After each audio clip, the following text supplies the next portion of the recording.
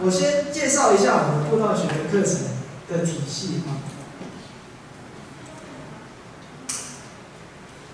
好，呃，刚刚有讲到，这是我千里步道协会跟全国的社区大学合作的第十五期步道学入门课哈。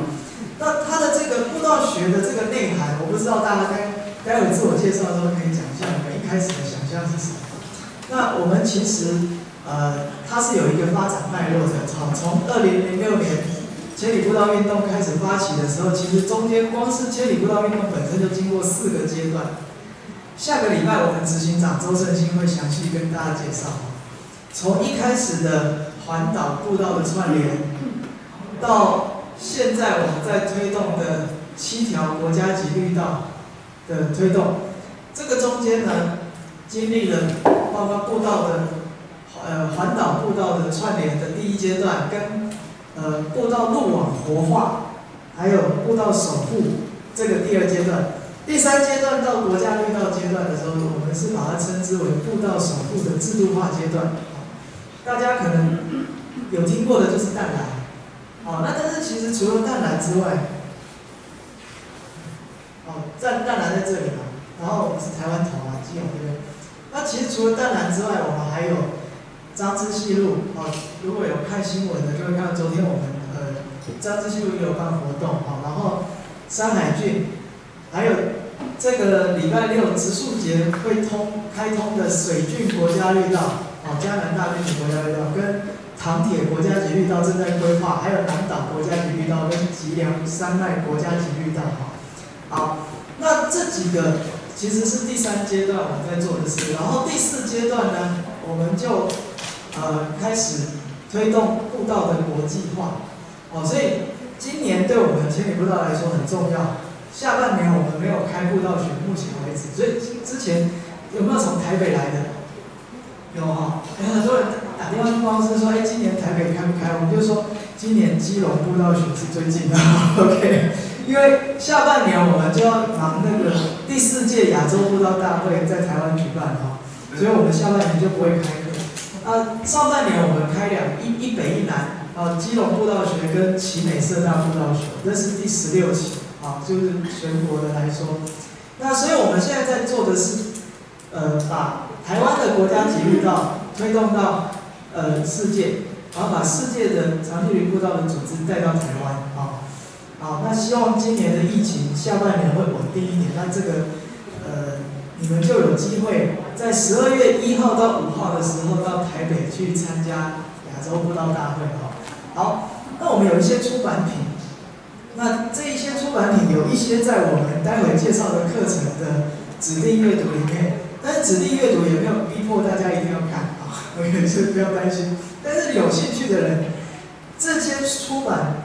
基本上是代表我们在四个阶段、不同阶段里面的一些进展、阶段性的成果啊。从呃这本书是叫《走路》，这是我们的第一本书，现在是已经绝版了。但是里面有非常多知名作家写他们那个走路的那个历程啊。那我们发现这两年其实已经不用我们再出走路了。最近大家有没有有没有人是常在看书的？出去年到今年有两本书。都叫这个名字，有没有知道？随便举一个例子，有没有啊？一本是我们的发起人小野老师写的，叫《走路回家》，啊，他就写他自己的生命经验跟千里步道到处去走路的这个过程，啊，小野老师的《走路回家》，那好像是他第一百零三本书啊，啊，他的一百零三本书堆起来。真的有著作等身这样子哈，好，然后呢，他今年刚出一本走路，有没有人知道？都没有啊，是龙应台写，哦，龙应台写走路，然后很有趣，所以走路这个风气呢，已经不用我们推动了，就是一堆知名作家会写好。但是二零零七年的时候，我们先出了一本书啊，叫走路，然后呢，后来陆陆续续，包括刚刚说的第一阶段。环岛串联的阶段，就是《千里步道环岛慢行》这本书，里面介绍了十一段山海豚环岛路线的故事，哈，总共可以花七十五天的时间走完环岛路线。详细的路线待会我会介绍我们的网站，大家可以去 download。如果你想环岛的话，好，那到农村住一晚呢，就是在那个环岛路线上面，我们挑了几个点，啊，鼓励大家，呃，可以更深入的去。然后也有出高雄，还有象山一间最美的山景，这是高雄的，这是大台北的，好几条路线。那跟手作步道比较有关系的就是这一本，呃，我在后面讲到手作步道的时候，一定会提到，二零零六年的时候我去美国阿帕拉契山径的故事，这写在这一本书里面啊。我在阿帕拉契山径，然后那去年十二月六号这一本手作步道改版重出，啊，然后这本是新出，叫手作之道，两本一起合起来出。呃，这个呢，就收录了我们到现在为止已经在全台湾做了一百五十条的步道，从那一百五十条里面挑了总共三十条在书里面有介绍，啊，所以这个跟这个课的指定阅读有关系，啊，好，那呃，所以千里步道经过四个阶段，那手作步道这件事情要从阿帕拉契开始说起，啊，所以到现在也都已经十五年、十六年的发展历程了。好那这个发展历程，下个礼拜圣经会跟大家做比较详细的介绍。那十五六年来，其实各个机关开始慢慢改变他们的观念，呃，包括像林务局的局长啊，这个是啊局长亲自去做手作步道，啊刘克香老师他三不五时就会讲手作步道的事情哈。然后那淡然啊的推动就是要求全部通都要手作步道的方式做。那台北市政府现在在推台北大众走，哦，不知道有没有人走过？还没有，走过一小段。OK，台北大众走呢，他们也是就是希望是用手做不到的方式做，而且那个台北市长其实从二零一五年开始，每一年都会去做一条手做步道，在台北市范围内。啊，然后之前在台中的时候也有推动哈。那最近去年那个赖副总统啊。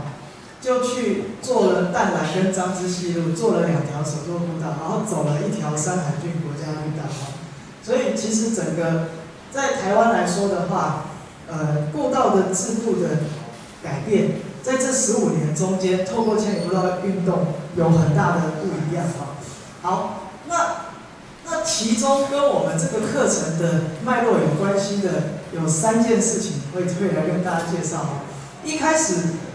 我们并没有步道学这样的概念，啊，因为刚刚说二零零六年千里步道成立呃开始推动了啊，然后那二零一二年的时候，我们首先先提出来这个愿景，这个愿景基基本上也是步道学希望能够在各个地方跟社区大学合作开课的目标，就希望每个地方慢慢都达成这件事，天然步道零损失，水泥步道零成长。到了去年还是前年的时候，我们在台中开课的时候，我们就说，经过十五年的这个观念的改变，现在应该要把这句话叫做“天然步道零损失，设施步道负成长”。好，就是开始有一些木栈道坏掉的，其实拆掉，归零重新想，不要木栈道坏了就换木头换木头，一直换木头的，或者是啊不要换木头换仿木。这个都是治标不治本啊。好，那二零一二年我们在全国环境 NGO 会议其实就快到了哈，就是每一年的地球日四月二十号，我们会有一个全国环境 NGO 会议。在那次的会议，我们提出来这个愿景之后呢，我们其实在那一次的会议上提出来，在法规面的，在制度上要怎么设计啊，才能够落实这件事情。这个我们后面会讲，所以我现在不讲了。那同时呢，我们提出这个愿景之后，就会面临一个问题，就是什么？到底哪里有天然步道？哪些是水泥步道？数量是多少？对不对？好，我们一定会被问这个问题，可是我们不知道。所以，二零一三年的时候，我们开始呢，先跟啊，先跟台北文山社大合作开，那时候还没有叫步道学，叫做双北焦山铺面调查的自工训练。好，那这这些志工其实非常简单，他们我们就是透过这样的一个流程，啊，教大家 GPS，教大家怎么拍照，怎么做记录，然后每一个铺面的变换就打一次点位，啊，然后回去统计成 Excel。那我们把铺面呢分成了六个类型，啊，是水泥步道。那非水泥的呢，有自然的，有人工的。人工的又呃栈道啊、墓穴啊、碎石啊、石材啊、石阶啊，其他人造物啊。那整个我们把它统计啊，这就是我们训练的过程。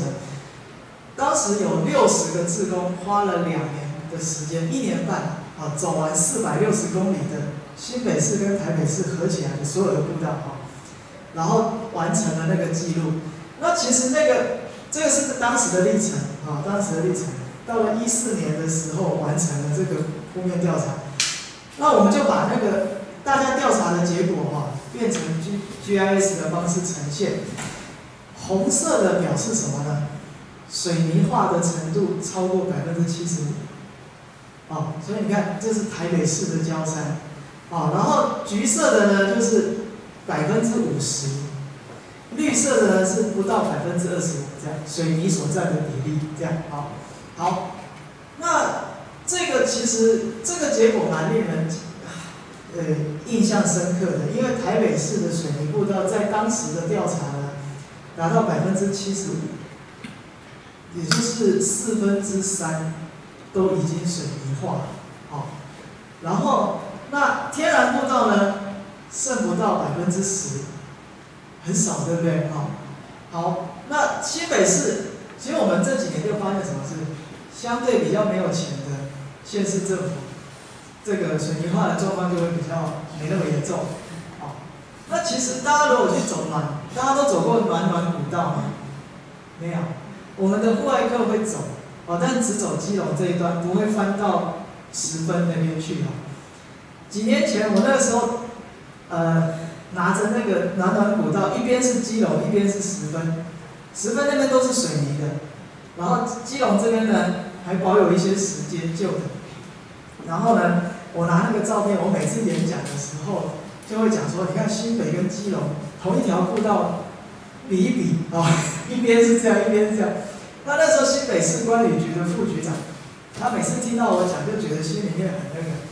他就一直说他他他发誓他有一天一定要让我从那个把那个 PPT 从我的，就是把这个案例拿掉，啊拿掉，但不是逼我把那一页拿掉，是他要改变那一那一页的那个现况这样子哦。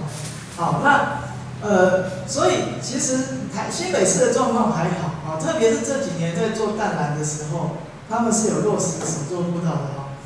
那我们。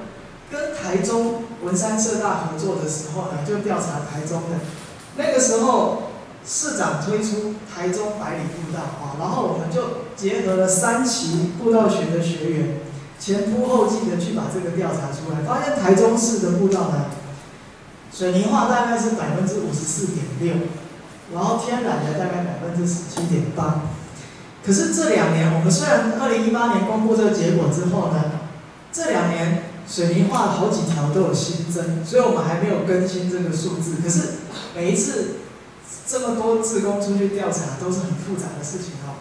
大家，我们目前还没有打算在基隆步道学让大家做这件事。我不知道大家会不会跃跃欲试，想要做这件事？会不会？你们刚刚听了会不会想要调查看看基隆的铺面到底现况怎么样？不会，没有任何人点头。好，因为其实呢。这个事情不是单独就这样走过去就好了，沿途要一直打卡，一直拍照。那几年前那时候技术还没那么好，要拿着一台很大的机器叫 GAI 然后呢一台相机。现在所有事情都合在一个手机里面，啊，已经简单简单很多。但是大家常常一起出去调查，边走边聊天，走一走说，哎，这铺面什么时候换了？然后再退回去，然后再重新。重新打点，所以一个轨迹要走很多，就所以虽然总长四百六十公里，其实学员应该走不止哦，好几倍这样子才能够收集到完整的资料。那我们在那次铺面调查的时候，也发现了很多步道奇观，最近大家有没有在脸书上看到？前几天在过年的时候发了一批布道奇观的那个发文，有没有？没有。好，你们有没有订阅千里步道的粉砖？我麻烦大家按赞点一下，然后呢，设定那个自动跳出来哈，就是优先接收讯息。因为那个呃，我们有很多活动会用那个脸书啊来公布。那那时候就是很多。我们的志工调查到这些奇奇怪怪的东西啊，比方说，这到底是什么？做这个东西要干嘛啊？有没有很像这样？哦，有很像哦。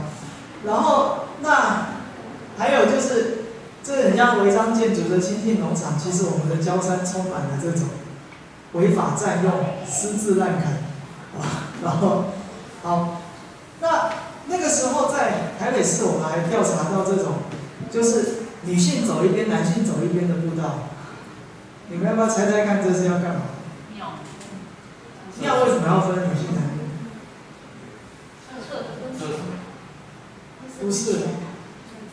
泉哎，你怎么知道？你去泡过吗？啊？马祖吗？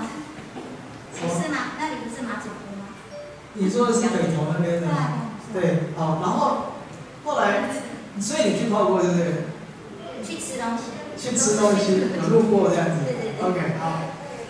呃，后来我们其实现在大家看到的哈，我们不是只有调查、拍照、爆料公司爆了完就好了，是要是要去要求政府，所以这个地方已经拆掉，了，哦，已经没有这样子了，好，因为它那个是违规的，还有这个也已经拆掉了。你们猜一看这是什么？就是自工去调查的时候啊，大家拍到这个东西，然后大家就在猜那里面到底是什么。然后你看到那个这个拿着公文的大哥，还有其他这些就是市政府的人跟着一起去现开，然后大家确定那个那个土地权属，然后大家在那边讨论处理的方法。你们猜这个里面是什么？凉亭。凉亭。是，一定是违章的，那里面要干嘛？不是。其实啊，这个是一个那个标准场地的羽毛球场，哦，这民众自己搭的，哦，它也是占用，等于是我们把它称之为这个私有地公有化，就你把焦山客厅化，啊，占用私有地，呃，占用公有地，啊，或者是。其实也是私有地，但是不是你的，是别人的私有地啊，然后把它占用，然后就就变。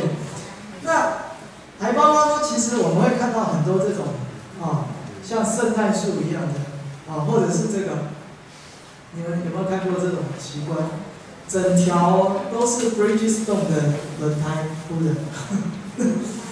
好，OK，有看过吗？在哪里？你们看过的在哪里？啊？基隆吗？不是，在别的地方。OK，好。所以其实有很多的奇观，我们就把它拍下来，然后呢，去跟民众沟通，然后跟政府部门来沟通。在，二零一四年的时候，我们开始发起哈，每一年的六月第一个礼拜六是布道日。那今年的六月第一个礼拜六会遇到端午节，所以我们的布道日会提前在。五月二十八号进行，那一天是第五次淡蓝首长会师啊，在台北市来举办啊，到时候也会跟大家来邀请参加。那第一届的布道日呢，我们就提出来那个焦山铺面调查的结果啊，然后开始呃办那个分散的会师活动啊，就是不要太多人去爬山，因为其实哦，我们办步道日，我们不想要变成什么万人。这样子对步道不太好啊，哈，所以其实是希望全国响应。所以第一次我们办步道日的时候，全国有五十几个地方自发的响应，然后在地方办小型、小规模的会师这样子啊。OK，好。那再来就是步道学了，第三第就是步道三部曲，守护步道三部曲的第三步就是步道学，就是现在各位坐在这里的。我们在二零一五年的时候开始。跟社大合作开步道学，那其实它的目的是什么？希望在每一个社大的范围都会有一群看守步道的种子，在地的种子，因为其实那个步道的风吹草动哦，在地人才有办法随时的去关注，你没有办法那个子弹打得很远的哈，所以我们为什么会到处跑到各个地方去，包括我们在台北的文山社大、新北永和社大、台中文山社大、竹北社大、台南社大。高雄第一社大、奇美社大，然后去年底到罗东社大，啊，就是其实基本上都已经开过在地的，啊，就是希望我们培训出在地的志工去关心。那在我们的这个悟道学的课程里面，我们希望大家开始在这个这个呃这个象限里面，透过这个课程呢，有一些移动。移动到第一象限啊！大家现在先听我解释，然后你们也想想看，现在你们是在哪一个位置？哦，然后呢，我们特别圈起来的呢，就是希望透过这个课程，慢慢的到这个位置哦。好，我来跟大家解释说明一下这个。哎，这个字都很小，都看不到。哦，所以要抢位置坐前面。刚刚试过前面玩。看不到啊，所以那个大。这个字有办法放大吗？好，OK，好效果，好，OK，那个呃，我看一下，应该可以。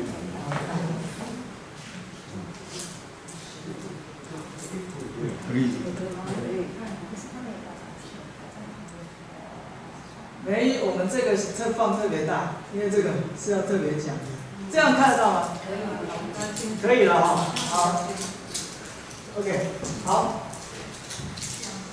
呃，这个有所谓的这个 X 轴跟 Y 轴嘛，哈，好，那一般来说，X 轴我们在这里面讲的就是行动的层面啊，就是我们这个课程的步道学里面，因为包含室内课跟户外课，然后一定会有行动。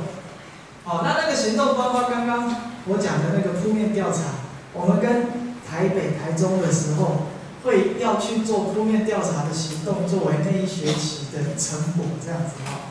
那呃，透过行动的部分，一般的走路人会变成关心公共事务的公民，因为参与公共行动，啊。然后呢，那这个 Y 轴的象限是什么呢？是知识面的提升。好，这个下面哎，现在被切掉了，就是下面是消费者，上面是专业者。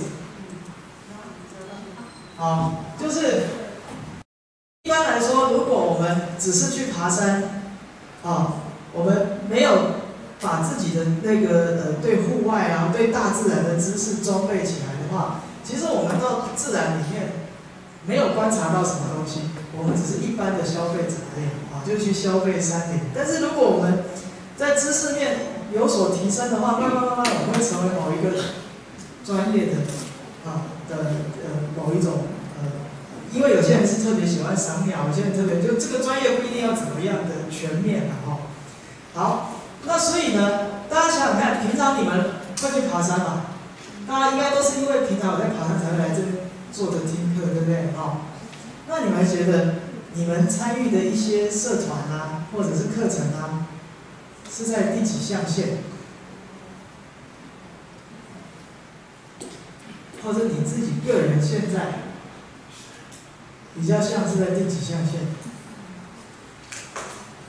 二、二、第二、三，就是其实大家一起去爬山，爬山一个人也可以爬。哦，啊，一群人一起爬，但是一群人爬，如果是只是就是好玩而已，那就是联谊嘛，就是开心啊。那这也没有不好啊。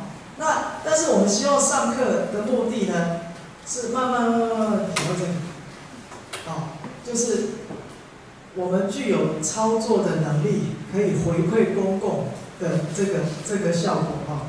OK，好，那呃，整个步道学的课程呢？我们设计是跨领域的，有包括就是透过这个课程，我们希望大家了解自然、工程、人文跟社会。大家就想说入门课不要弄到那么复杂嘛哈，入门课没办法，大概初步有一个概念这样子哈。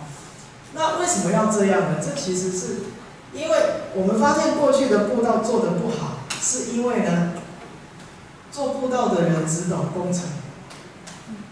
哦，那其实步道它会有什么历史啊，以前的古道长什么样子？你如果不了解的话，你可能就会把原来古道整成没办法讲故事的步道，就变现代的。那现在的你就会觉得走起来你也什么都没看到，对不对？哦，那或者是施工的过程可能会怎样破坏自然，但是他们不知道。哦，那还有社会科学，那社会科学是什么呢？其实它会涉及到，其实，在人文这个部分啊，除了历史，还有美学，啊，伦理学、哲学，啊，然后社会科学这个部分，我后面讲手作步道都会提到。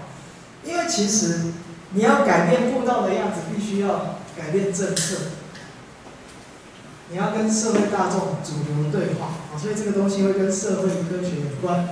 那我们的整个课程架构呢，就会包含，现在有点被切掉啊，就是里山的环境、步道的环境课题、步道规划问题诊断跟调查，啊，那目前的入门课，不管是到哪一个社大开课，会有这基本的内容，啊，就是，呃，一开，我下下礼拜会讲这个课，哦，就是步道的新闻的迷失，到底步道在我们的里山的概念里面是什么？好，我下次会讲里山，好，然后中间这三堂课，栖地与环境、自然生态跟历史人文，就是什么？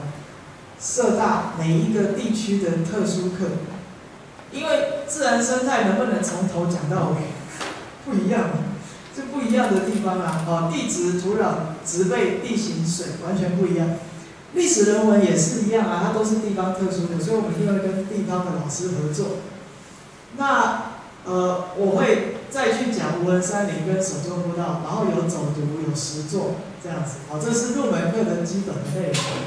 那进入到实物课呢，其实入门课就像现在大家这样坐在这里，我们就是听课、写作业这样好。那实物课的时候呢，是上完工具以后，自己要认领一条步道去做报告，像上研究所的课一样啊。所以实物课，就如果啊大家有兴趣的话，诶可以。考虑以后，但是实物课我们并没有单独对外招生，就是它基本上是只对有参加过入门课的人，从里面我们邀请有意愿、有能力、想要挑战的人才会来参加这个课，这样啊好，所以大家如果你只是想要来放松听一听也没关系，因为你们现在在这里啊，但是如果里面有一些人呢，是将来你想要去。用你的行动照顾一条步道的，那你就需就会想要去挑战这个东西。但是这个四个月的时间是非常硬的哈。OK，好，那我们其实除了这个这个课程的体系之外，我们也有建立功法手册。哦，但是这个功法手册不是我们强调它，这有点被切到，我还是把它切回原来的。好。就是这个细节大家不用看，因为你们不用需要知道这个。一个是我们我们帮国家公园做的，还有帮林务局做的步道设计准则，这个是希望让工程人员操作的，好，所以大家不用担心，你们不需要看这个啊。但是不要不要那个很很简单的就来问我说，啊，我那个后山有一条步道，要用什么功法？那我就会跟你说，你那两本书回去看。绝对不是这么简单可以回答的哈。好，那整个我们完整的步道学的体系会包括这样啊，核心课程、通识课程跟外部课程，然后有从第一级入门课、第二级实务课到第三级是实习阶段，然后他都有他要上的课程内容啊。所以，但是大家不用担心，你们呢是在这个地方。啊，就是这一个地方的课，我们把它抽出来上。什么人要把这全部都上完呢？布道师。哦，就是你要成为布道师，才要把这全部通通都上完。那通常我们目前培训从种子师资一路到布道师，至少要四年，哦，才会培训出一个布道师来啊。所以，他我们这个课程体系其实是有一点希望说，跟现在那个大学的工程科系的训练不一样，他会强调非常多的实作，好，好，所以不同的人呐，不同的，比如说我们像我们现在在协助林务局做他们的步道承办人员的教育训练。我们就把这些课程里面属于他们要上的课程拉出来帮他们上，这样子，好，了解吗？好，那布道学是这样子，那布道师呢，至少要具备五项能力：布道环境观察、布道课题分析、解决方案规划、团队沟通协调跟环境理念宣导。啊，要五项能力都有才会被认为是布道师啊，所以我们这个是课程。这个是实作，然后要具备五项能力中的几项，可以成为布道师的哪一个层级？啊，所以现在大家在哪里呢？今天是入门课的第一天，然后你看对过去都是空的，好，所以大家可以放心，上完这个课就是快乐的自工。OK，好，但是如果你们有兴趣的话呢，哦，那就是刚刚我说的实物课。哦，实务课上完，老师从你的调查报告里面评定你刚刚的五项能力有一项可以邀请加入种子师资，好，然后种子师资要实习一百小时以上，老师才会去评定你具备三项能力以上，你可以实习布道师。其实从去年到今年呢。我们有好几个满一百小时的，但是今年老师评定完之后，没有人可以进入实习辅导师，还要继续实习，这样好了解哈。所以这个实习是要怎样？你要台湾的从低海拔、中海拔到高海拔，从北到南，你都有实习过，才有可能怎样？遇到不同的状况，你会处理，哦，不然你就永远只会处理一个地方的。这样哦，那就不能够晋级，这样哦，好，OK。然后那呃，实习布道师实习满三百小时，被认定具有五项能力才会成为布道师，这就是我刚刚说需要四年的状况哈。那目前我们有三位资深布道师，是所有这些呃底下布道师的讲师群哈。那另外还有一个独立设置的荣誉布道师，荣誉布道师是不是我们训练的？是各个地方的耆老啊，今年的荣誉布道师会颁到第三届，四月二十三号要颁奖啊。里面最年纪最大的是九十四岁，他在竹北做那个气石、气卵石的老师傅。然后这两天呢，我们有一个同事带着导演去拍澎湖的做老古石的，你们知道老古石吗？啊，logo 九。啊，珊瑚对，就是那个珊瑚曝晒，然后后来变成他们澎湖，你去，对，用墙壁讲也是可以的。它是菜宅啊，就是围那个菜的那个围墙啊，那种那个老师傅，那个老师傅是七十几岁，对不对？对，他是七十几岁。然后另外今年还有另外一个是卢凯族的，八十几岁啊。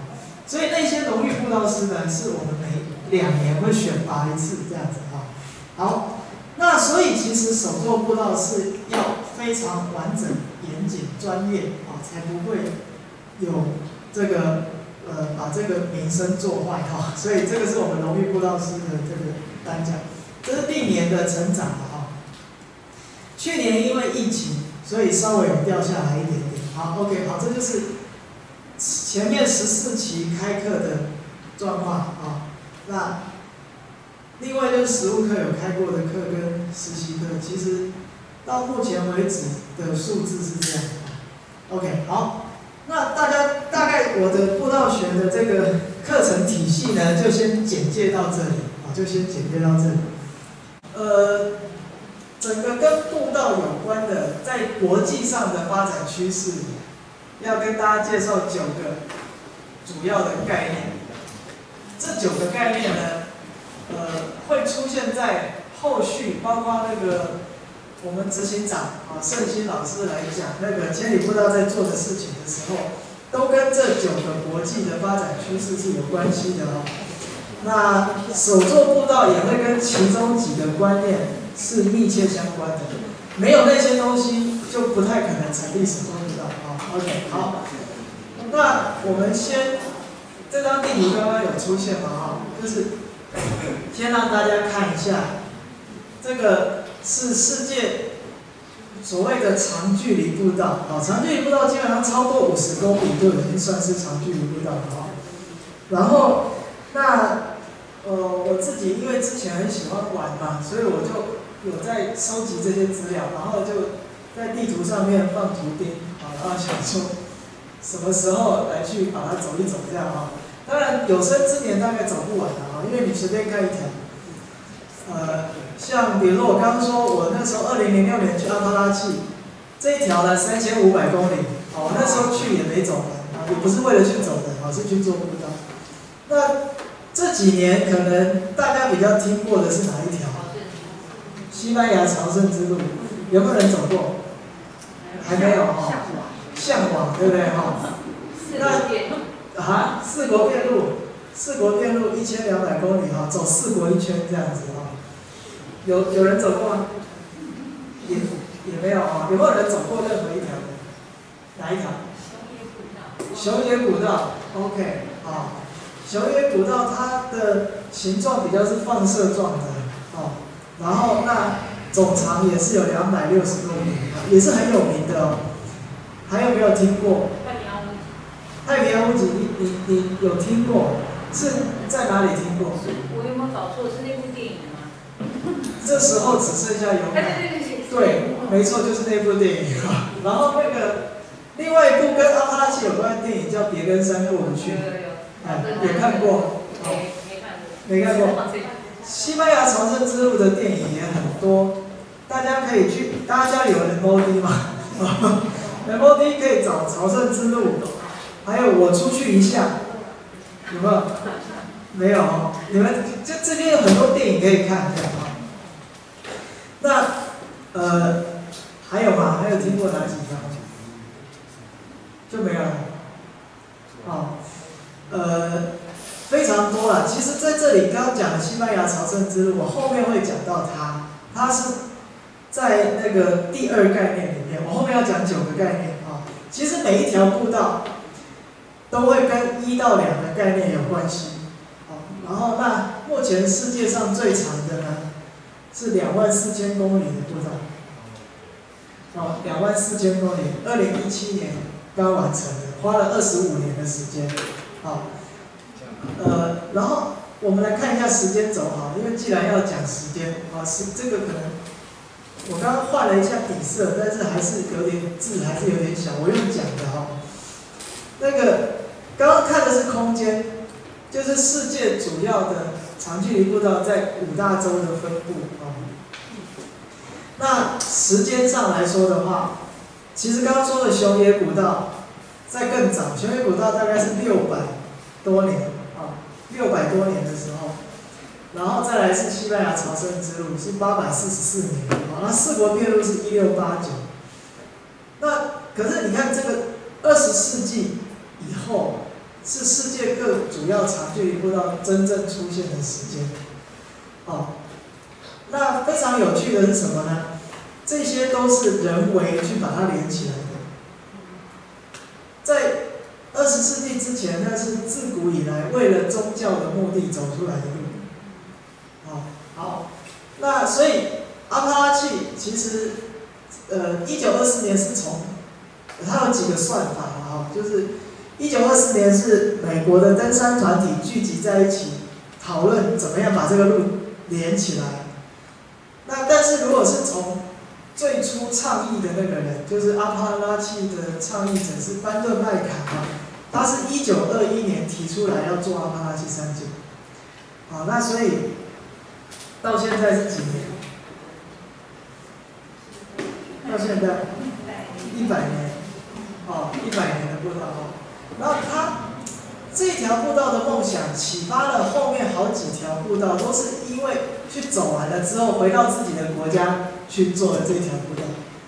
哦，好，所以为什么我们亚洲步道大会到台湾来举办的时候，我们的专题演讲就是致敬百年，就是世界各国受到阿帕拉契影响的长距离步道的组织，我们会邀请他们来台湾。好，那呃。后面我会再一个一个介绍啊，就是整个时间轴呢，开始真正跨国的举办大会要大概是二零零七年之后才开始，其他都是自己的步道呢，有自己的组织在经营，可是组织跟组织之间，步道跟步道之间没有互相往来，这样哦，大概是这样的一个趋势。好，那呃，世界上的主要的这个步道的。概念哦，要讲绿道，为什么？因为在台湾，每次我们讲步道的时候，大家都想象是山里面的土路，可是实际上在国际上来讲的话，刚刚所讲的那个什么两万四千公里啊，或者是三千多公里的步道，不可能全部都是山里面的土路。像西班牙朝圣之路，如果你看过电影的话，大部分都是走在什么马路上，哦。那为什么呢？因为古道随着交通的改变，现在很多都是马路，哦，好，所以我们在台湾用中文来讲步道的话，大家很容易会以为都是山里面的，所以我们讲绿道，啊，Greenway，绿道这个概念包含的比较是这种，啊，呃，这个定义我就不讲了，哈，就是从。因为刚刚其实冠宇有讲到一个一件事情啊，就是说，在基隆这个城市，下次我讲到里山也会讲到，人居住的空间跟呃自然的环境，它是有一点交错的在一起。那所以在这种底下，什么情况之下要以人的需求为中心，什么情况之下要以自然的状况为中心，就会变得。其实非常难去拿捏，哦，那但是呢，这边就给了一个一个光谱了哈，就是绿道呢，它的形态从非常人类中心主义的自行车道、城市人行道、公园廊道、田埂水郡啊，城市慢慢到乡村、郊区步道、历史古道，到接近以生态为中心的山区步道、防风林、生态走廊。这些光谱上面的步道很多种类型，它都是属于绿道的范围内啊。然后，那所以刚刚我讲说那个我们在推动国家绿道这件事情，它其实最重要的特征是，不是一段一段的毛毛虫，像刚刚那几千公里的是连续不断的一条长距离的步道，所以要连续。要有整体的服务机能的整合，可以代表某一个地区的特色，里面有非常丰富的体验的内容，还有最重要的是什么？要可及性。哦，国外在推动绿道的时候，绝对不是那种，呃，让大家要开车去那里。哦，它基本上都是尽可能的，因为你一旦走上一个长距离步道的时候，你一定不会回来这边开车，你会一直走一直走，所以。你走个一天两天三天，有的时候五天，那个可及性非常的重要。好像加拿大就强调说，从这个呃大众运输，呃应该说从主要的城市节点到那个绿道的任何一个点上，三十分钟之内一定可以到。啊，就是可及性非常的重要。这样好，大致上我先把那个绿道啊，就是世界的绿道的定义。跟类型、跟时间轴，让大家有个基本概念之后，我们从世界的绿道里面可以抽出九个概念来。啊，那我先讲第一个概念。第一个概念呢，就是通行权利。通行权利作为步道最基础的核心。通行权利，好，这句话是什么意思呢？这个大家有去过英国走步道吗？有没有？没有。啊，有冠宇，你举手。没有没有。OK。你如果去英国走步道的话，你一定会看到他们的步道的指标，上面是写这个啊，呃 public footpath，就是说公有的、公开的啊，就对公众开放的步道这样。那这里也是对公众开放的步道，这里是对公众开放步道，这里也是。然后，但是去的地方不一样，去的地方在下面。你想说跟我们台湾的步道指标是不是很不一样？我们台湾步道指标就是说，这里是去哪里，那里去哪里。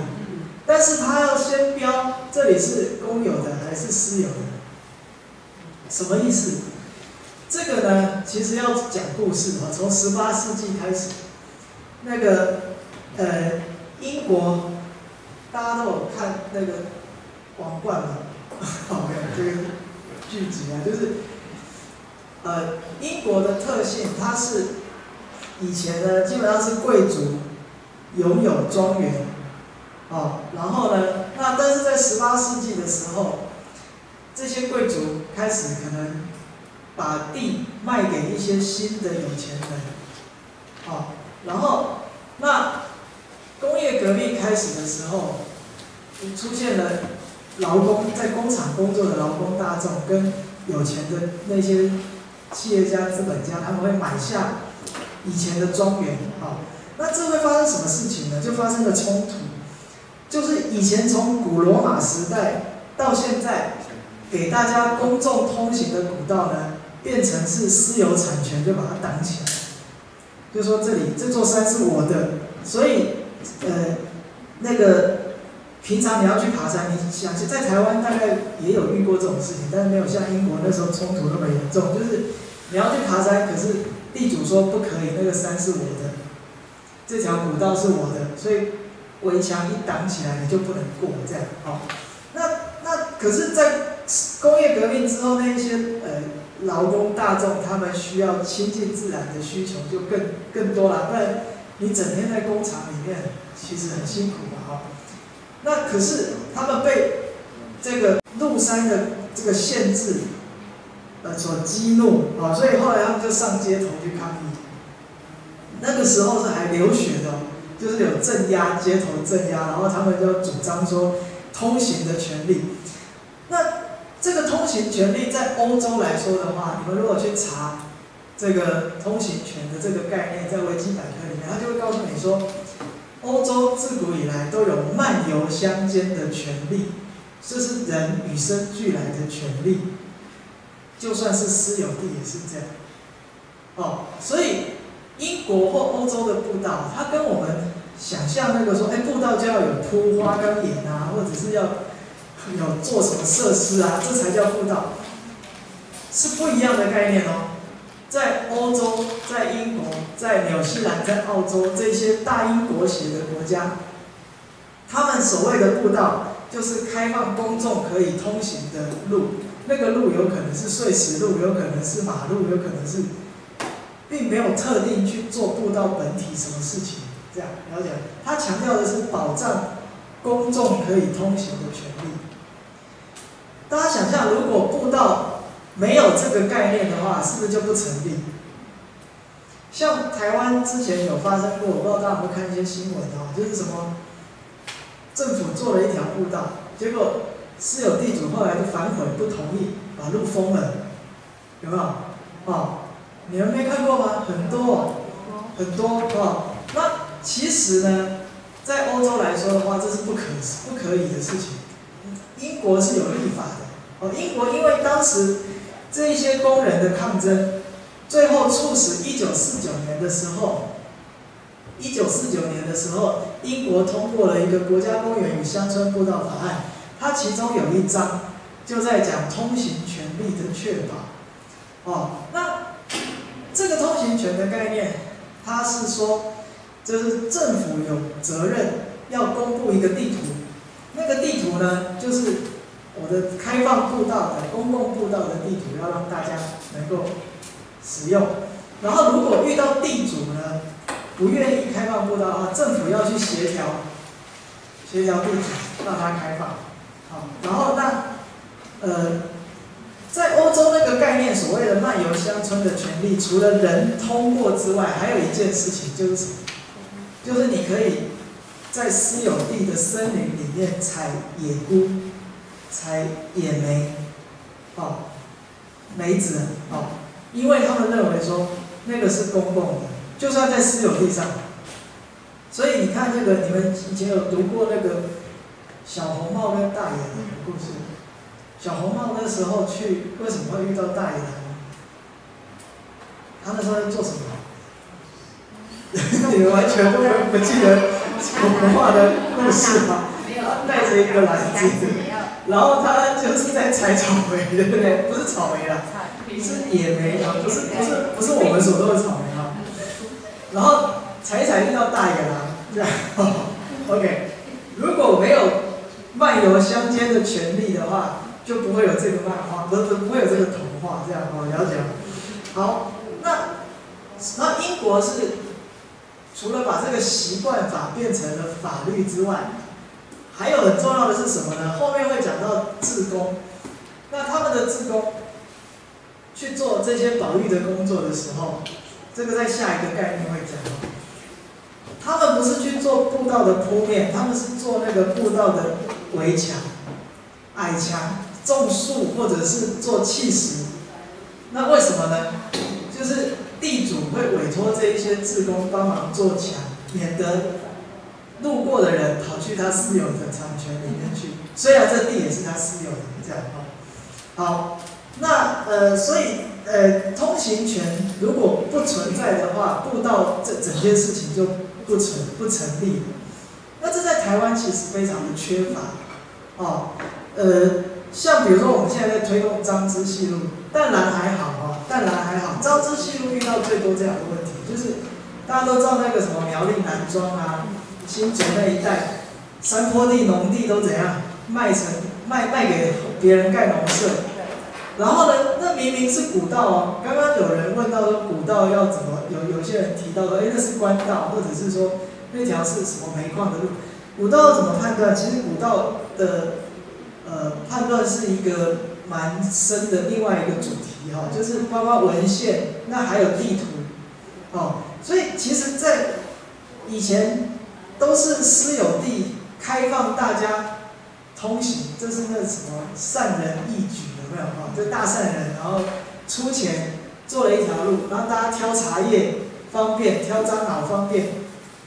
然后呢，可是换成是别人来变成这个地主的时候，他就说这是他的地，不让大家通行。那这样子在台湾是没有办法处理，就是因为台湾没有这个法，哦，所以我们呃。那时候一直希望在台湾要先立这个绿道法，就是要解决这个通行权利的问题。也就是我刚刚说，一旦没有这个概念的话，步道就不存在哈。好，那它的这个通行权利，在进一步衍生到近代，它会强调所谓的通用设计的无障碍。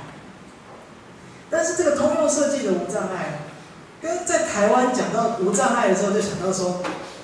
一比二十的坡道，旁边要有扶手，有没有？不是哦，不是哦，不是这样。他的坡，你看我到英国去的时候，我发现什么？他这样子的停车场，他写是无障碍，然后这地上都是碎石，有坡度，哦，然后这也是无障碍的步道。你看这边有画一个轮椅。啊，然后这个这个门打开，它上面有写，过去有两百公尺的无障碍步道，轮椅可通行。然后你仔细看，全部都是碎石路面。那为什么他们会这样子说呢？其实是因为他们并不是像台湾，他们基本上是坡度坡度为主，哦，不是说那个路面要变成水泥化或者是怎样啊。然后他基本上。在这个是在保利自工信托的公法手册里面会出现，穿越私有地的时候的那个闸门是要让轮椅可以通过的设计啊，在必要的时候，好，那所以人家国外的无障碍其实强调的是一种软硬体合起来的环境，提供没有任何人被排除的亲近自然、机会均等的环境，但是不是。无条件的，不是到哪里去都要无障碍，是在某一些地方坡度许可的地方，就尽可能的提供行动不便的人亲近。可是并不是说我去铺铺面铺成水泥，或者是我刚刚说的扶手栏杆是什么呢？你看它这个画面，啊，它基本上，它会在那个地图上面告诉你，我这边的停车场这个是有无障碍的，这个没有啊。然后从这里到这里的坡度是一比十五，会有几个展望点。那再过去呢，有可能就变一比十，啊，就变更陡的意思。那你后面就不是无障碍，啊，你就自己判断。然后你看他们基本上呢，大家一起走路的人跟坐轮椅的人可以一起机会均等的散步。但这轮椅是哪里来的呢？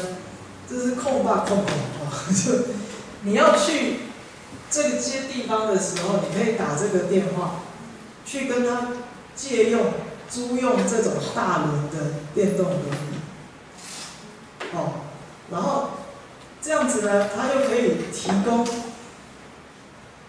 这种哦机会均等的亲近自然的通行权利啊。那但是不是所有的地方，它有几个前提啊，就是在这些我就跳过去了，就是在不破坏自然环境的前提之下，在尽可能的坡度可以的时候，它可以提供大家亲近自然的权利。所以你看，这是无障碍步道，你有出现什么木栈道或者是水泥还是栏杆吗？没有，哦，就是把那个路。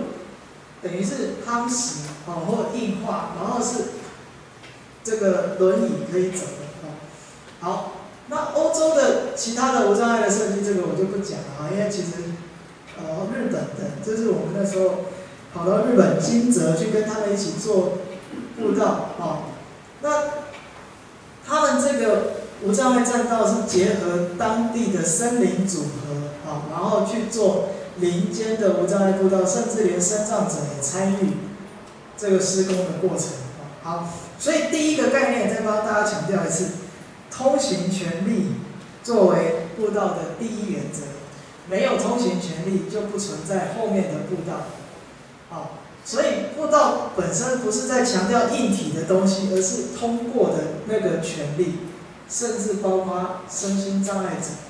的通行权利，这样好，OK，好，请说。请问一下，刚刚说那个，呃，去到那个历史地，它可以申请大轮的，那个东西是公共提供，还是不是那个私有财地那个是那个刚刚那个是需优等这个 A O N B 的管理当局，啊，就是 A O N B 是什么？就是捷呃美丽风光保留区啊的管理当局他们提供的。那其实那个，呃，欧洲他们会提供很多，呃，这种我说的软体的无障碍的服务，比如说他们会推那种大轮的婴儿车，或者是借你那个背婴儿的背包，这些东西都可以用借的，啊，这个是属于公共的机关？呃，英国的机制有一点复杂，它有很多管理单位不是真的是，因为他们经过。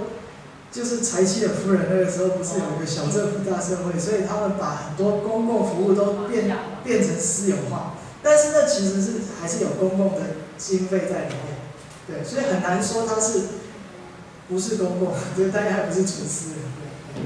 好，那呃，我这边再补充一下，因为既然有人问到，英国跟欧洲为什么会以通行权利作为步道的基本观念，其实跟他们大部分的土地都是私有地有关。对，哦，它主要是大概超过一半以上步道都是位于在私有地范围，所以它一定要处理通行权。对，那通行权跟财产权一定会发生冲突，所以它法律有规定哦。什么叫通行权？就是你不是骑摩托车，你是非动力的，走路、骑自行车，哦，这种就是可以。拥有通行权，但如果你是要骑车动力的开车或者骑车这个摩托车，那样子不不享有通行权，是以非动力的通过为主，然后你不可以随便在人家的院子露营，那不叫通行权，OK？因为通行是我要这样过去嘛，然后你原则上也不可以随便侵害他的财产权，你只限于通行这个权利而已。所以小红帽可以采野。啊？什么？那小红帽可以采野？呃，采野菇跟野莓是可以的，但是采水果是不行的。哦野哦野生的不算财产。对对对，哦，因为它那个为什么野莓跟野菇？因为它是会自己发出来的。哦。对，哦，啊，种的水果你就不能采，这样哦，所以它呃会有这个通行权跟财产权的界限。哦，虽然你是有通行权，但你不能侵害他的财产权，你侵害他财产权一样是违法的，这样哦。OK，好，这是第一个概念，好，好，第二个概念呢，就是步道不是只有硬体的空间，要把时间这个概念放到空间里面，这个概念叫文化路径啊，文化路径或历史步道。在不同国家有不同的说法哦。那这上面就列举了几条啊。刚刚讲到的西班牙朝圣之路，就是你只要看到黄色扇贝的，就是西班牙朝圣之路啊。然后这个四国遍路，去走四国遍路的人会穿这个装扮啊。也呃，好，OK，有看过吗？好，那它上面都会写什么？同行二人。一个人去也是同行二人，什么意思？上帝。上帝。他们宗教不太一样。对，好。熊野古道是神道教，四国遍路是佛教，啊，就是这个空海大师，啊，那所以同行二人呢，就是你一个人走。空海大师与你同在啊，就是同行二人这样啊，OK，然后会拿着一个金刚杖。好，西班牙朝圣之路是非常重要的一条路线，在第二概念里面啊，呃，它是在文化资产保存领域里面第一条被拿出来讨论的文化路径。文化路径都是从这个开始的啊，在此之前呢。文化资产的概念就是一个古迹，就是一个点，房子啦、碑啦、纪念物啊，反正就是一个具体的。比如说，假设月美国小，这是一个历史建筑这样子，但是没有说，呃，什么清朝的官道是一条历史文化资产，其实没有这个概念那一直到一九九四年的时候。在世界的文化遗产的这个大会上面，他们提出来说，像西班牙朝圣之路这样的一个，见证了某一个国家或地区在历史上每一个重要时刻人类互动，以及在货物、思想、知识、价值观上多面持续交互的交流影响，有形的、无形的文化资产反映文化交流的情形。那这样子的一个。现行空间，它也应该是被保护的文化资产。好，所以这里开始从点到变现。后来当然还有文化资产有新的、更新的突破，就是讲那个氛围，叫场所精神。这个我就不讲，他在讲建筑的部分。好，那所以呢，呃，这个被指定的八百公里啊，主要是这一段法兰西之路。啊，然后它还有北方之路也有一段啊，原始之路有被指定，那没有被指定的，是不是就不是古道？西真正的西班牙朝圣之路，它是怎么样？它是天主教第三大圣地在这个位置，叫卡普斯特拉大教堂。然后你从欧洲各个地方的天主教徒都会从自己住的地方出发，越过比利牛斯山，走这一条路过来。但是这些路呢，就像刚刚有人提到，这些路现在都已经是什么？可能是车路或马路，哦，但是它实际上还是是不是古道？好，这是一个很有趣的问题，大家可以放在心里面想一想啊。那但是被联就是联合国教科文组织指定的主要的这一条呢？是被指定的，但是其他呢也是自古以来他们会这样走的路，这样，好，OK，好，但是有趣的是什么呢？这一条路也不是最初天主教徒去卡波斯特拉的主要路线。刚刚所说的原始之路才是。那但是为什么这一条法兰西之路变成是指定的文化路径呢？它其实是拿破仑攻打西班牙的时候开出来的，可以让大军走的路。啊，我为什么这里会突然要跟大家说这件事？是因为之后讲到淡蓝的时候也会遇到这个，因为在台湾学术界对于古道的定义，跟我现在要讲的文化路径是不太一样，它是两个有重叠，但是不完全是相同的概念。文化路径是一个更大的概念，它的重点在刚刚所讲的，见证历史上人类互相交流交换的有形与无形文化资产都包含在内，不是只有这个路而已，路周边跟这个主题有关的东西都被包含在内。比如说，呃，好，我看一下后面，好，这这张图也可以看，这是美国的遗址廊道。步道呢是虚线的地方，但是它保护的是廊道，而且呢，你会看到周边的这一些点都包含在它保护的范围内，它保护的是这个范围内跟这个主题有关的事情。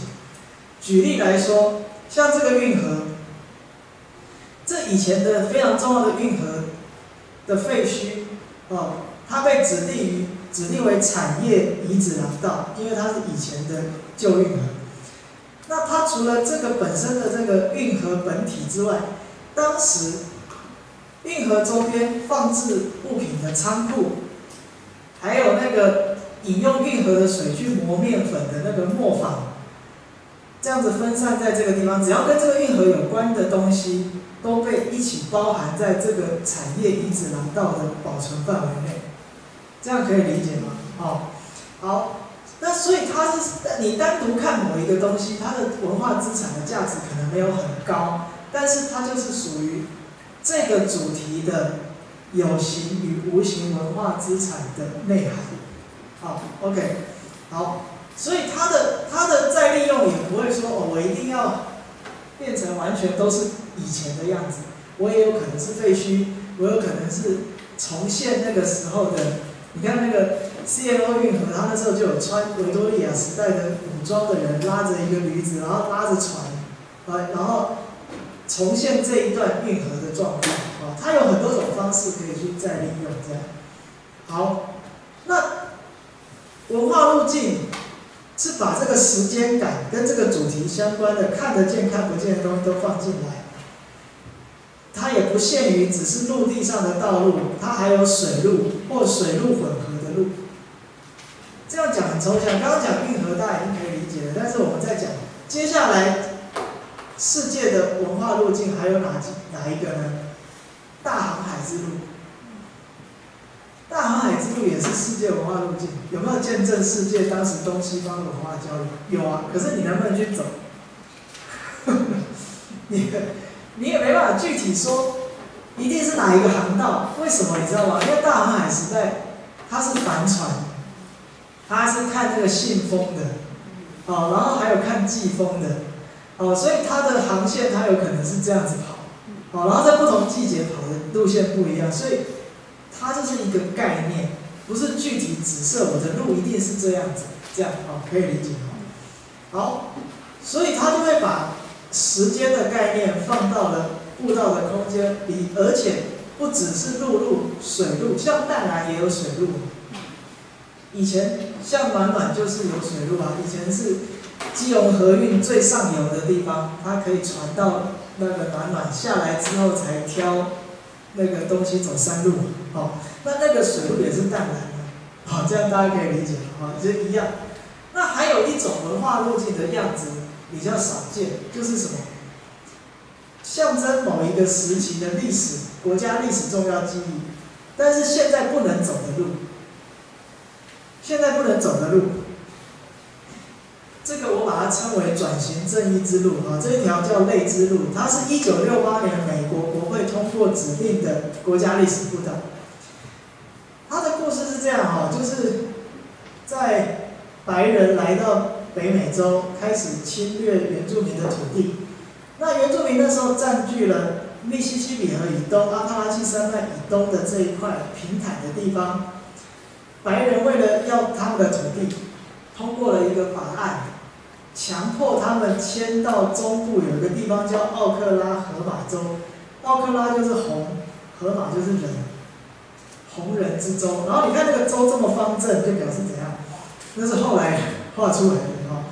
那所以住在这里的五大文明部落，一辈子有没有去过这里呢？没有。这不是什么他们自古以来原住民走的古道。他们是在历史上被白人政府强迫他们迁过去，第一次走那个路，也可能是最后一次，哦。然后他们中间要翻过阿帕拉契山脉，有一些部落呢，他们在男女老少越过那个阿帕拉契山脉，已经到冬天下雪，所以路上死了很多人，所以他们就称这一条路叫流着眼泪走的路。你们在哪一本书里面会看到这个呢？少年。小树之歌有看过吗？啊，里面那个查拉吉，他的他翻译叫查拉吉，其实英文是 Cherokee，就是契洛基族，或者雀洛基，就有很多种翻法。查拉吉的祖，他那个祖母跟他讲这个故事，如果你们回去看那本书，就会讲到。所以呢，在历史的教科书里面没有这一段，是原住民他们用口耳相传的把这个故事流传下来。一直到一九六八年的时候。美国国会依据口耳相传，把这条路线大致上画出来，哦，然后但是现在能不能走不能，因为很多都变成了高架桥、高速公路啊，什么都切掉了，不能走。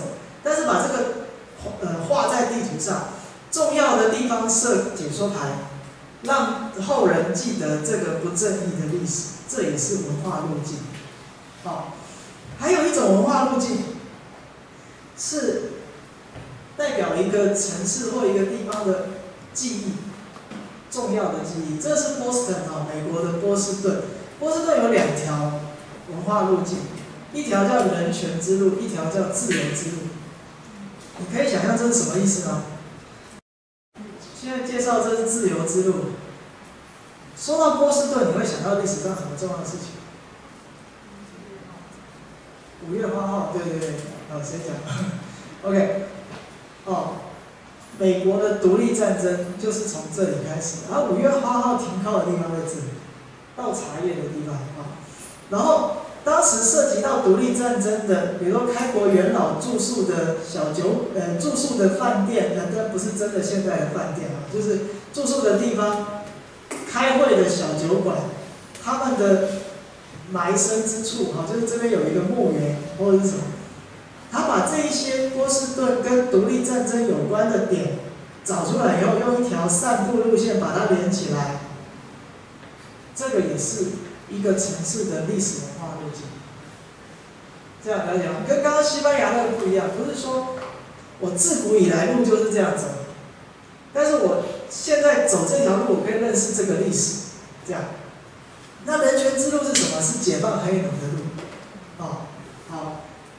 像比如说很多国家的城市都有，就是这种是属于城市型。你现在走已经看不到什么东西了，都是现代的东西。但你走一走会看到一个牌子，上面就会说以前这里是什么什么，这样哦。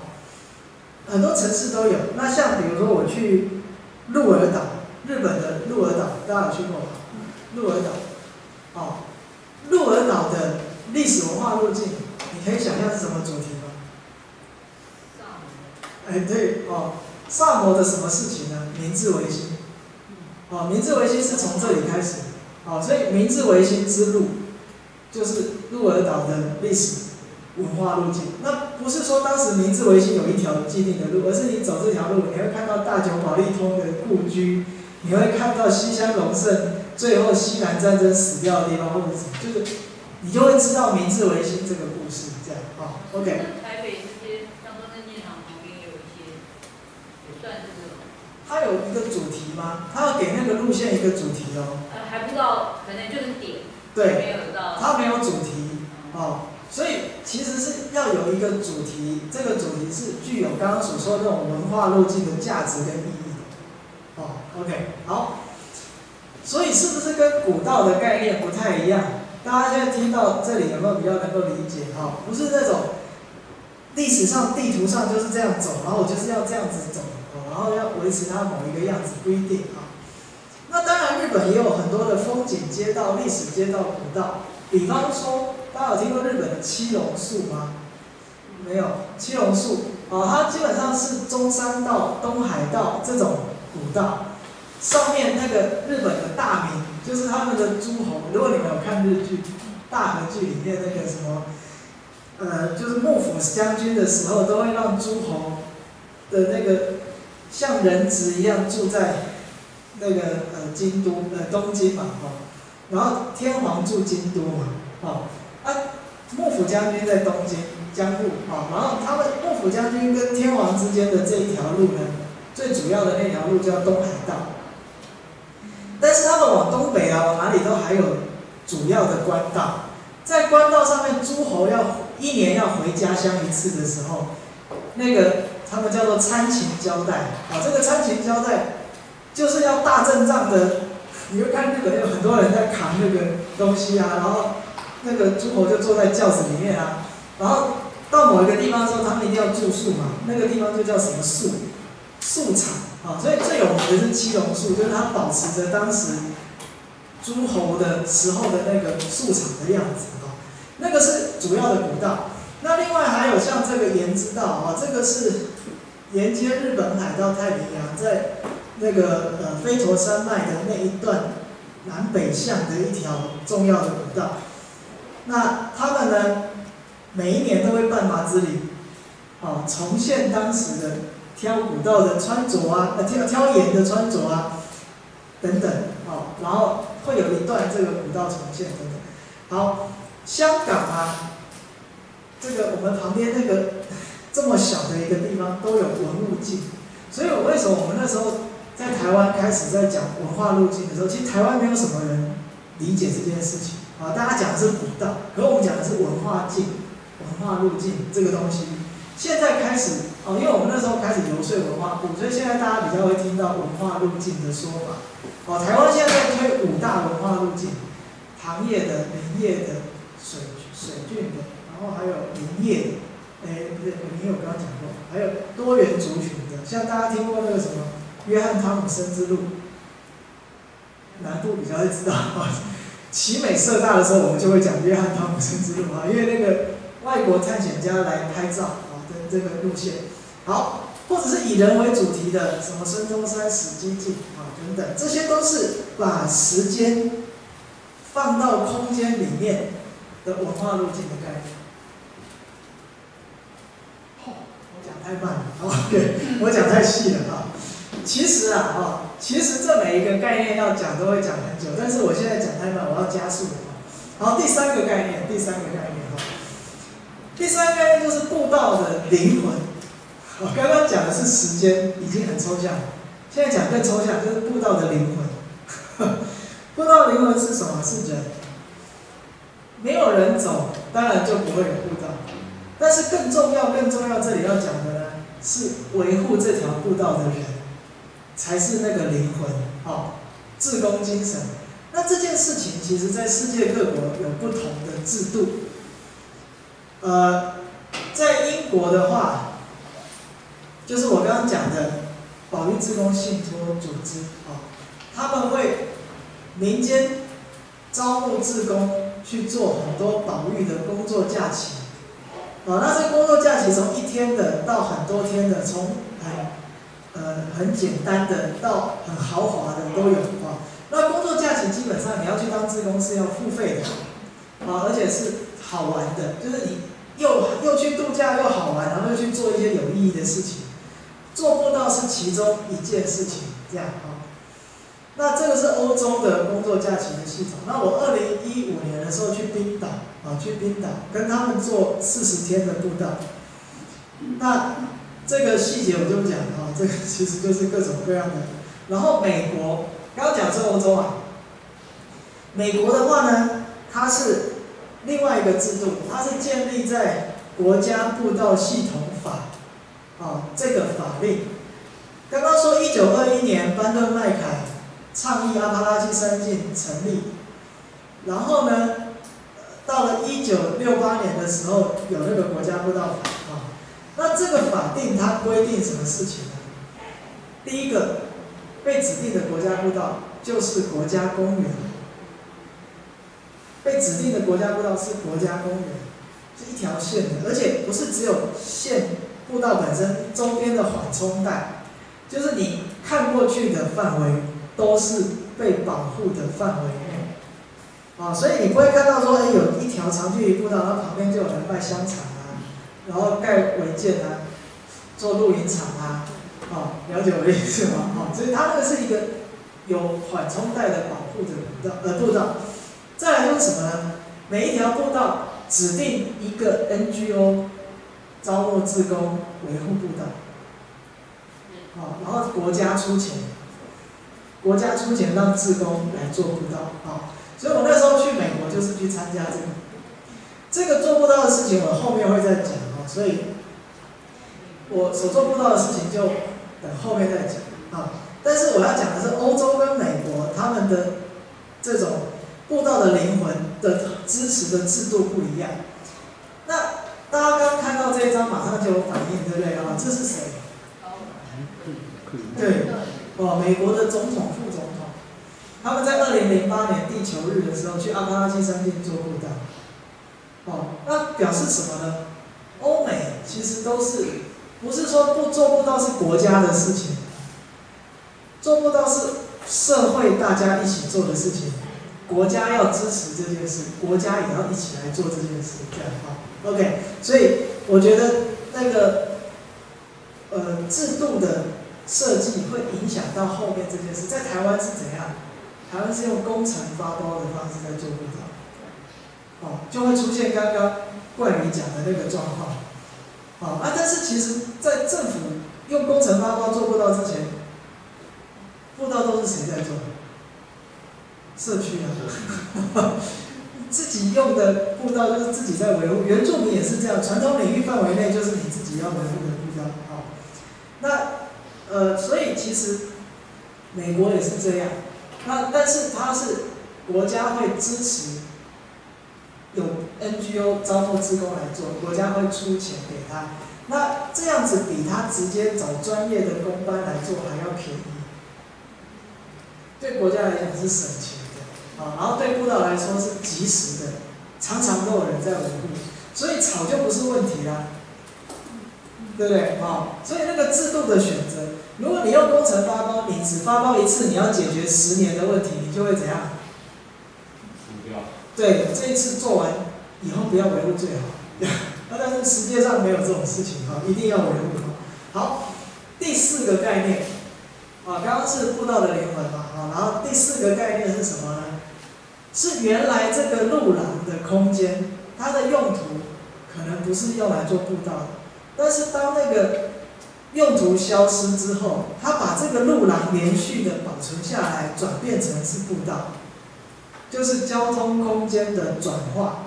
这个背后隐含着一个东西，就是挑战大公路主义。啊，好，呃，有几个有名的案例啊，这里面放了几个有名的案例。这个是以前，这个其实台湾也有的？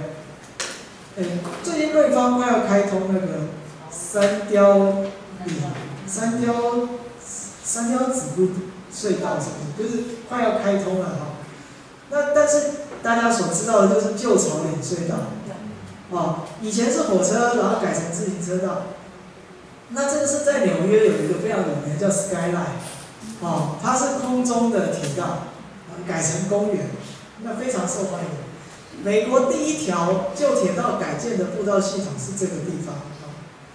然后那它因为这个，它呃奠定了之后美国的所谓的铁道变步道的运动，啊，它的英文叫 Rails to Trails，啊，那有组织专门在做这件事。这个组织一开始是保存铁道，然后它的背景是这样。美国有一段时间，刚刚所讲的运河，后来铁路取代运河，后来公路取代铁路，然后开始大家都盖公路的时候，铁路废线之后，这些铁路的企业就开始要卖掉这个财产。可是地方上就觉得说，我如果保留这个铁道的话，可以的事情，所以就要求政府立法，其实是私人的，他政府立法鼓励这一些私有的铁路的旧的线可以被保存下来。他们提出来一个很重要的立法精神，叫做什么呢？叫做 rail banking，就是把这个铁道的廊道空间储存下来，像银行一样存起来，对啊，存起来干嘛？给下一代用。你想想看，现在这个台湾已经发生这件事情了。以前大家听过旧的糖业铁道嘛，对不对？旧糖铁其实，在台湾全盛时期。全长达到三千多公里，啊，然后还不是只有运糖而已，它还可以做客运，有没有人做过？这里比较没有哈。我如果是在中部以南，对，一讲这件事，就很多人都做过，做过，做过这样，做去上学，做去那个呃工作，我都有。那可是后来那个糖铁呃糖业不生产之后，糖铁就慢慢分割。然后就不再连续了。这个等到下一个世代要发展别的事情的时候，就遇到困难。比如说像大家知道云林高铁站在哪里吗？在湖尾。哦，湖尾那个其实是以前糖业，我们称它为百年糖都，就是日据时代的糖业的重心就在那地方。那其实以前那个地方是有台糖小火车的铁轨。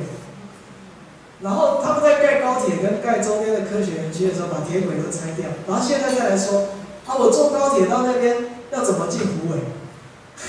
这样了解意思？然后大家就说，以前其实那个铁道存在啊，如果不要把它拆掉的话，其实你就开台糖小火车就可以进去了。哦，然后那所以他们现在有个计划是要重建那个铁道。然后另外一个就是嘉义高铁站，哦，那个。大家有听过那个蒜头糖厂？哦，蒜头糖厂，它也是为了要解决，因为高铁站都盖在那个从化区鸟不拉屎的地方，对，然后离那个城市都很远，靠那个 BRT 其实很远，所以他们现在呢，呃，最近我记得是上去前几个月新闻，就是行政院有核定要盖蒜头糖厂的那个，因为它铁轨大部分还在，哦，就是要。盖那个铁轨，然后坐小火车坐接驳，这样大家知道 rail banking 的用途了你如果把这个廊道呢，现在不用，但是你怎么知道你下一代用不用？哦，啊，所以既然是连续的东西，先把它存起来。啊，存起来不是把它放在那边荒废，把它再利用变成是什么？大家现在就可以去使用的步道。哦，所以像这个是这个是纽西兰的啊。纽西兰的，然后你可以看到，它可以做很多的用途。你看到这个会不会很想去骑脚踏车去走路？对不对？哈，好，OK，好，那这个是 Skyline 那个那一条线啊，就是不不是 Skyline，我说错了，Highline 啊，Highline，纽约的曼哈顿的哈，本来是废弃的，然后后来呢，他们把它改成空中花园。变了很多人，这是他们以前的旧铁道的样子。OK，那 Skyline 是呃 Skyline 是伦敦啊，预备要做。好，所以保存交通空间的连续性转化。所以为什么大家知道我们在刚刚说的七条国家级绿道里面有糖铁跟水郡？哦，就是保存既有的廊道的连续性很重要。好，第五个概念，第五个概念就是你要保护的步道。这个保护标的呢，不是只有这一条线，还包括旁边，就是我刚刚说那个缓冲带的概念，跟景观视线的美值，不是只有保护步道本身。那在不同的国家有不同的保护的方式。英国就是我刚刚说的 A O N B 哈，美丽风光保留区啊，然后所以英国你只要看到这种符号。它就是一个美丽风光保留区，保护某一种特殊的景观。在这个景观里面，在这个区域里面的任何房子要新建或改建，都要符合这个景观。像它这个是保护这种白垩的白垩纪的这种海滩海滩嘛，哦的地形，海岸的地形，因为它有画美丽风光保留区，所以你看不会出现什么海岸第一排，这个了解我意思哦。所以它的重点就是要保持这样的景观，不要被破坏啊。那当然，其实在英国也有所谓的国民信托，在日本有所谓的熊猫森林啊，这些都是保存地景，即使它是私有地，透过信托给一个组织，这是我们那时候去拜访纽西兰的信托组织，就是保存这样的一个私地啊。然后它是私有地，但是它交给这个组织之后，它的后代不可以改变这个用途，就是要这样子，就是一直维持这样子。好，那日本当然还有所谓的里山，这个下次会再讲啊。然后美国就是用国家步道系统法来保护，就是我刚刚说的步道周边的缓冲带。所以你看哦，这个也是美国的国家步道，在这一段就长这样。如果在台湾就怎样？要坐木栈桥。对不对？可是我这这个景观，我这个廊道也是被保护的范围，这样啊，然后大家就是要涉水而过，就这样。啊，在台湾可能会觉得说，哎，这样不是很危险吗？对不对？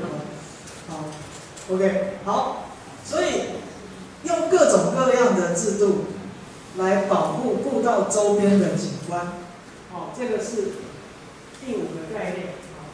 就是保护，是包含周边的整体这样。其实，在我去阿帕拉契的那几年，他们正在做一个阿帕拉契山地协会在做一个运动，就是什么？反对在阿帕拉契山脉看得出去的天际线做那个风力发电。哦，就是因为他觉得风机插在那个地方呢，会影响视线。好像他们那个时候在发起，依据这个。啊，所谓的天际线的景观去反对那件事情，其实还蛮有趣的。就你会想说，呃，其实但是不是离步道有点远，是看出去的对岸的，就是上面的那个三级线有风机对，但是他们觉得会影响那个天际线啊景观的视线。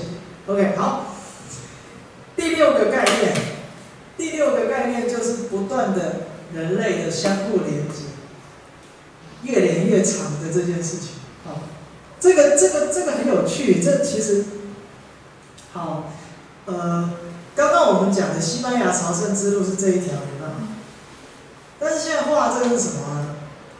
在欧盟整合之后，好，欧盟整合之后不是国界就已经消除了吗？好，所以他们开始串联那个泛欧步道系统，就是走这个步道。整个欧洲步道线它有十四条，那你看这个可以从挪威一直走到意大利，哇，中间当然要坐船哈，然后你可以从圣地亚哥，哇，走这个其实是欧洲分水岭啊，然后你可以一直走到那个伊斯坦堡，大家可以想象那种感觉吗？哦，非常的酷哦，跨国的。这种十几条的长距离步道，好，然后那呃这边大家看到这个系统，这个叫做 GR 系统，GR 系统是在一九四几年的时候法国人发展出来的，然后也是横跨包括德国、葡萄牙、西班牙哦的长距离步道线，它应该有五万多公里啊，就是整个。GR 系统非常的大，然后它的辨识则就是这个红色跟白色的漆。然后呢，另外我们台湾常常会讲的一个济州偶来步道，它是二零零七年做的。那偶来是什么意思呢？偶来就是韩国的方言，是从家门口通往大马路的小路。好，我们回到这里。所以济州岛环绕一圈四百二十五公里，有一条。偶来步道，哦，这条步道是，创办人是走过了西班牙朝圣之路之后，他就觉得说，为什么世界各国的人都会去走朝圣之路？为什么我家乡也很漂亮？为什么不能让世界的人来朝圣？哦，所以他就串联了这个环岛的步道。二零零七年，哦，然后那他后来带起了一个趋势，就是什么呢？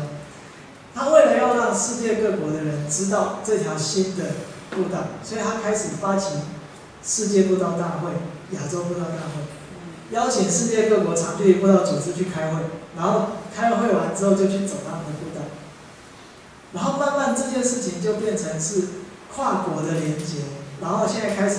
像比如今年十月是到尼泊尔第八届世界步道大会啊，然后呃前疫情之前是西班牙轮到西班牙朝圣之路办世界步道大会，那一年千里步道有去，啊去去展览那个淡蓝跟张之细路，好，那所以他就开始除了办大会，还有就是联盟成立了亚洲步道联盟、世界步道联盟，所以千里步道也是会员组织。那我们其实通过步道，就是我刚刚说的千里步道的第四阶段，就在做这件事，就是用步道来发展台湾的软实力跟国际能见度啊。好，那这个刚刚大家已经知道了哈，这阿帕拉契山径跟太平洋屋脊山径。然后你看，美国还有这个什么，从太平洋到大西洋的步道，很酷吧？哦，这样子走哦。然后，那还有这一条是北卡，北卡罗来纳州的，从美东第一高峰到西湖海岸的这一条一千公里的从山到海 （Mountain to Sea） 啊的步道。但是 Mountain to Sea 步道跟我们台湾现在在推的山海郡，就是从台江的那个湿地一直走到玉山，就是东亚第一高峰啊，这一条其实是很类似。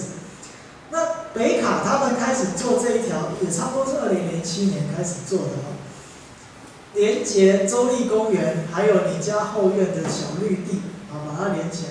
那比较特别值得一提的是，到这个西湖这个地方，你看那步道还跑出去，在沿着瘦瘦的那个陆地这样走。为什么呢？因为这块西湖的区域是莱特兄弟飞起了世界第一台飞机的地方哦。所以你看，从美东第一高峰到莱特兄弟的湿地啊，那个是北卡的非常重要的路。再来就是纽西兰，纽西兰有有九条 Great Great Trail 啊，就是由他们的政府主管的。那这个是由民间发起的，从北岛到南岛三千公里的长距离步道。那这个我加拿大。花了二十五年的时间完成的两万四千公里的步道路线是这样，哦，就连接了加拿大最漂亮的一些地方，哦，然后它的路的形态就是我刚刚讲的绿道，从很城市的人行道到很原始的环境啊，自行车道什么都包含在内啊。那香港呢？又要再讲，香港那么小的地方都有麦理浩径，麦理浩径总长一百公里。但是它是国家地理杂志由世界践行者票选前二十大一生一定要去的长距离步道，才一百公里，比起刚刚那么多来说，它排不到前二十大。但是呢，当你走在这个麦里浩径的时候啊，你会觉得很漂亮。为什么？因为一九七九年的时候，香港的总督就是英国人哦，麦里浩。他们当时做了几件事，一个就是，呃，你们如果有读刘克湘老师有一本书叫《四分之三的香港》，哦，那他就在讲那个郊野公园的保护这件事情。好，所以你看，香港你去都是觉得是高楼大厦，可是它郊野公园里面就是不能盖房子，啊，就是像这样子。然后你会很容易就会看到海，啊，山跟海的这种风景非常漂亮。哦，麦里浩径一百公里，千里步道在二零一六年。受郊野公园的邀请去协助他们做手作步道的培训，做了三年，一直到香港的那个就是他们的那个应该是雨伞，对，战中之后就就就就没有办法再去了哦。但是现在他们还在持续的继续做手作步道哦。香港的有机会我们到手作步道时候再说。好，所以刚刚第六个概念就是不断不断的相连，越来越长的长距离步道啊的这种梦想。好，那第七概念呢，就是把人形的权利带回到城市生活的空间里面。好，其实这也是步道运动非常重要的观念。大家不要觉得说啊，我要去步道一定要去远方，一定要去山上。哦，其实步道这个概念在城市里面的人本交通、人的通行的权利、行人徒步区，或者是那个时候开始推动法国的这个 village，就是现在大家已经都觉得很很能接受的，但是在早期其实还没办法了解，就是 U bike 这个概念啊，这是从法国的里昂跟巴黎开始的。好，那所以其实自行车道的建制跟这种方便的结合到大众运输系统里面的，啊，这个是丹麦哥本哈根跟日本的，啊，然后甚至整个英国的自行车道的系统的规划，它其实呢，基本上是要让行人安全行走的空间回到我们的生活场域，而不是说我们都是要去很原始的山里面。那我觉得一个最有趣的例子就是这个，这在纽约。大家去过纽约这个，你们看得出来是哪里吗？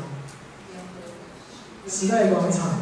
你如果看那个跨年的时候，大苹果要掉下来，就在这个地方看哈。那原来时代广场在之前的状况是怎样？它是人行道是很宽，就如果你们有看美国电影的话，最喜欢拍那个在那个人行道上很多人在那走来走去。人行道很宽，但是很多人，然后旁边的车子呢也一直塞车。那后来呢？纽约的街道运输委员会，哦，大家可以去看这个那个 TED，呃，就是那个 TED Talk 啊，这里面有有一个当时街道运输委员会的主席介绍这个计划。他们后来把时代广场变成行人徒步专区，啊，就是因为反正你车子进来也是会塞车嘛，那我不如呢，把整个全部都变成行人徒步区，车子都不要进来。啊，然后那这样人也不会走得很挤，车子都走外面。但是做这件事情呢，并不容易啊，因为一开始一定会有人反对嘛，啊，所以他们街道运输委员会当时做了一个很厉害的事情，就是他们先把这些都是用临时的街道家具，然后地上的油漆都是暂时的。我先暂时的做了一些临时性的东西，然后让民众走一个月。然后跟民众说，反正一个月后，如果大家觉得这样不好，我们还是可以恢复原来的样子，哦。然后那，所以当一个月的这个过程中呢，大家就发现可以在这边走，甚至坐下来喝东喝茶或者是吃吃东西，还蛮开心的哦。然后他们还做了一个民调，就是周边的营业额，周边店家的营业额上升了三成，所以。这件事就开始，那个舆论就开始变成支持。从原来觉得说这个，呃，让让进城的这个车子很塞，好，更塞。但是其实它其实是解决了交通的问题，又提供了行人的安全徒步。所以后来在示范期过后，他们就把它全部都变固定式的，啊，所以那个那个是一个我觉得很棒的东西哦，就是行人徒步区宁静巷道。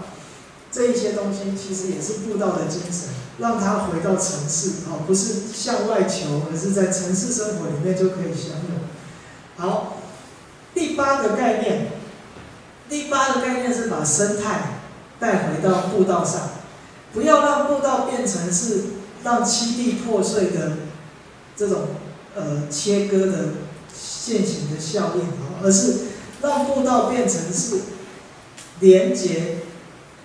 破碎的基地，那这件事可以从哪里讲起呢？这是荷兰。荷兰在一九九零年的时候，他们开始推动一个国土生态绿网的计划。哦，他盘点那个呃保护区、绿带，还有水域湿地，找到断点啊，就是这些东西照理要互相连接，形成一个生态廊道，而不要变成是生态孤岛。哦，然后呢？所以他们就透过非常多的东西。那其实，在不同的国家有不同的做法。比如说像这种呃城市的啊，这个美国的这种呃绿的廊道啊，或者是日本的原并未川的蓝带啊，然后或者是可实地景图门设计，或者是像法国的这些艺术家，啊，那或者是这次也跟刚刚荷兰的那个事情一样啊，就是说，呃，为了要达到那个国土生态，所有的呃栖地之间都有相连的道路，让动物可以穿越，所以他们甚至处理到高速公路上面的切割，啊，高速公路当时在开的时候，会让两边的物种没办法交流，所以他们通过有一些就先调查热点物种，有一些物种是走隧道的，有一些物种喜欢走上面的，哦，那他们就会去做这个设计，所以一九九零年代实施的二十年之后，在荷兰呢，阿姆斯特丹开始出现狼。狼狼到阿姆斯特丹，想要那个栖地非常的畅通啊，好，然后所以后来欧盟呢，欧盟就推整个欧洲的生态基地的国土，就是生态绿网计划，欧盟在做啊，那个非常的就是让自然生态不会因为人为的现行的开发而阻绝了它们的相连啊。最后一个概念，啊，最后一个概念就是这个。呃，步道它如何能够兼顾保育社会跟经济的需求啊？可以带来周边社区的经济发展，然后又可以呃限制这个呃开发行为啊。好，那这边主要举的例子是纽西兰的保护区里面的特许制度啊，它比较适用跟我们台湾比较接近的，会是比较是。现在三林开放之后，三屋或者是原住民协作的这个议题啊，商业队的议题，啊，那当然其实除了纽西兰的案例，日本也有所谓的里山协议，啊，里山协议如何把在地的社区整合到这个呃里山倡议，步道是其中一种啊。好，那这边我稍微讲一下纽西兰的。这个背景我就不讲了，它的法规啊，它的这个保护区步道等等啊，他们的管理经营计划，我重点在讲这个步道分级的概念，以及搭配这个分级，它有非常严谨的这个定义服务的水准啊。这之后再讲手作步道也会再讲到，但这边稍微提一下，因为刚刚讲到说，在城市里面的步道。要如何兼顾人的需求跟自然的需求？其实步道的分级就非常的重要。哦，你在呃国外来说，分级就是在讲哈，我用比较简单的话讲给大家听，就是说所谓的已开发区域跟原始区域，步道应该是不同的分级。既然它是不同的分级，那就没有单一一种做法。你在已开发区域的步道可以做到，也不是说不能用水泥哦，可以。那水泥是其中一种方式，这样哦，了解意思吗？那但是到了自然环境里面的时候，你就不能容许这些东西出现，所以它是有一个光谱的，不是说所有的步道都绝对不可以用水泥，不是这个意思哦。好，那所以如果我们先定位好我们这条步道的管理分级。跟服务水准，我们就可以定出一个合理的。包括刚刚讲的，你甚至是可以无障碍，对不对？在城市公园里面，你应该要做到这件事。好，那但是你看纽西兰的分级，他不是在讲说，哦，我这一级的步道就要做木栈道，我这一级步道就是要呃做这个砌石阶梯，不是。他怎么讲呢？哦，比如说。第一级步道，我在步道的表面的要求是怎样？哦，这是最大众的步道哦。步道表面的要求是要有一个很明显的，啊，很明显的这个形状跟很坚固的，啊，但是它不是说要用什么东西来做，就是很坚固、很明显的，让人在好天气的时候走在这个步道上很舒服，不会弄湿鞋子。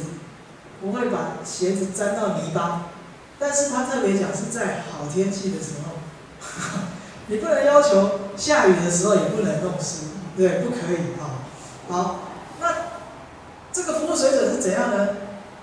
呃，这一条步道的段落，每一个段落呢，湿滑泥泞的地方不超过百分之十，他给了一个数字，每五十公尺不超过十公尺，每五十公尺不超过十公尺有湿滑泥泞的地方啊，所以不是说我在最大众的步道就怎样，一点湿滑都不行啊，不是。然后到了第二级步道的时候呢，就是呃八十公尺泥泞的地方不超过二十公尺。到了第三级的时候呢，就是每一公里不超过六百公尺，很多哎，对不对哈？到了第第五级步道的时候，就是大致上维持自然，它是树根就是树根，它是石头就是石头，它是过水就过水。然后最最高级的步道是怎样？你完全不要动它，哦，就是让它保持它的最粗放的样子，这样哦。OK，那这里面稍微讲一下，他这边讲说不会让鞋子弄湿滑泥泞，不会潮湿，不会弄到泥。讲的是一个小孩他的鞋子踩到泥的时候，那泥巴不会跑到鞋面上，就叫不泥泞。对吧 可以理解吗？所以他们整个纽西兰的步道，他会强调什么呢？